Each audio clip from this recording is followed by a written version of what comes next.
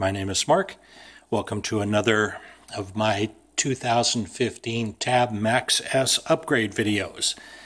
This is going to be another cool update. This came in the mail today from uh, Amazon. It's a Victron Smart Shunt. Um, this device, and that's all it is, you got a couple wires in there, and this device what this device does is it connects to the battery minus on this lug and to your system minus on this plug. It just goes in your battery box, just like that. This transmits the data that it sees from your battery. What this will do is it will transmit via Bluetooth, um, just like that propane sensor that I put in. It'll transmit to Bluetooth to my cell phone everything that's happening in my battery how much is charging, how much is discharging, how much every device runs. It'll tell me the percentage of my battery, what my battery percentage left is. It'll tell me the time it's going to take to finish charging at a current rate. It's going to tell me the time it, it's going to run at the current discharge rate before it gets to zero. I mean, really spectacular.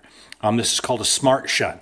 This guy runs 500 amps, so when I um, if I ever decide to upgrade my batteries, I can I can do that. Um, it, it's compatible with lithium. It's it's really nice, um, um future proof in that way. So it's basically that simple. I'm going to pull all the wires off of my negative terminal and put them here. I'm going to connect this post to my negative terminal. I'm going to take one of those little red wires one of these guys that comes in the box and plug it to the positive terminal. Then I just go down and download the app and I'm good to go. Really cool. I can't, um, it would probably take me a half hour to tell you all the features of this Victron Smart Shunt, but um, uh, it just make the video too long. If you're interested in it, just do a Google search on Victron Energy Smart Shunt 500 amps. Um, and you'll you read a, a bunch about it. But I'm really excited about getting this hooked up. So let's get out there and do it. So here we are back out at my 2015 Max S trailer, my tab, inside my uh, front bucket.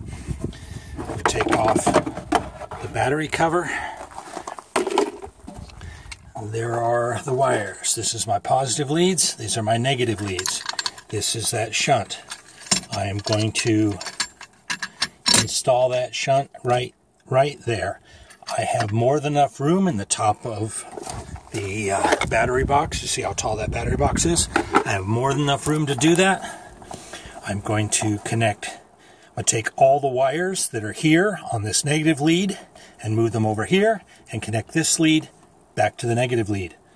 Pretty much that simple. Then we'll just take a little red wire and connect from the positive here to these positive, and we're done.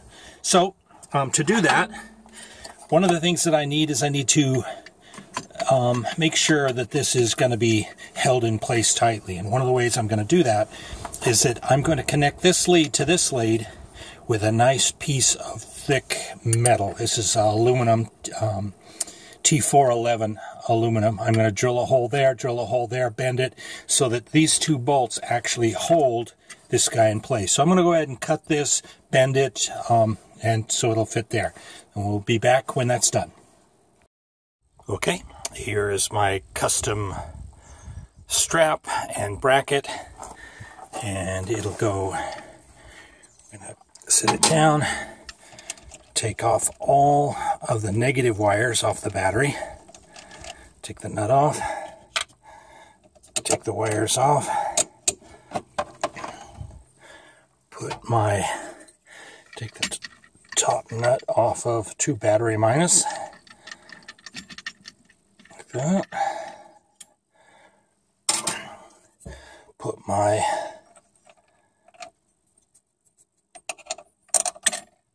strap on.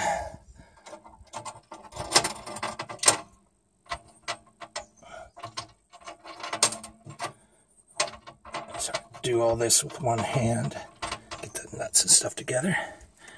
Put this strap on, just like that. And put the nut back on this side like that. And you can see now how that's that's not going anywhere. I can't move that. I can't do anything with it. We tighten that down, tighten that down. Now, all of the wires that were on the negative side go here. That strap back.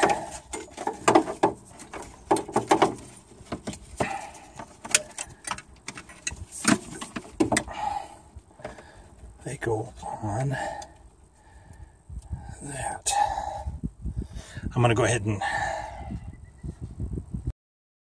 Okay, there we go.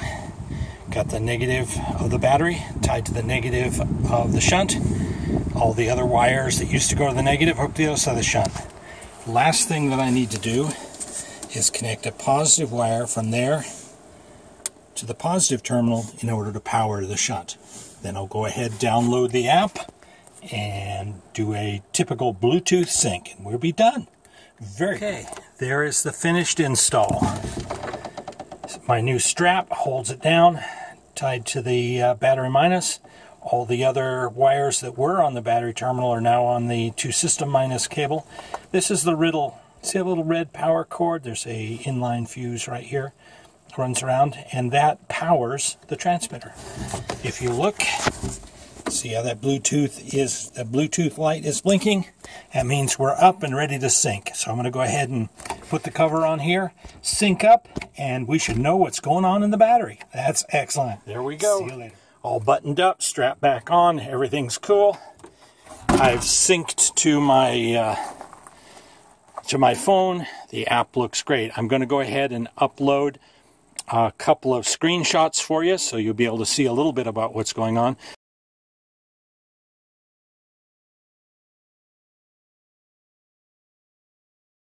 But like I say, this uh, Victron shunt does more features than I can shake a stick at or even start to describe here on uh, on this video. So go ahead, go to the Victron site, um, look up this this device. I'll put a link in the uh, description of the video so you can do that and see all the cool things that this does. Anyway, we'll see you on the road. And now I know what's going on with my battery. The cool thing here is is that that's a Bluetooth monitor on my battery and that's a Bluetooth monitor on my propane so that from the same cell phone from the same place I can tell a lot about what's going on here. And I didn't have to see how easy that install went? It only took me about 30 minutes. I don't have to run any cables or any display or anything into the trailer. It's all done right here. Um, really cool. Anyway see you on the road. Bye bye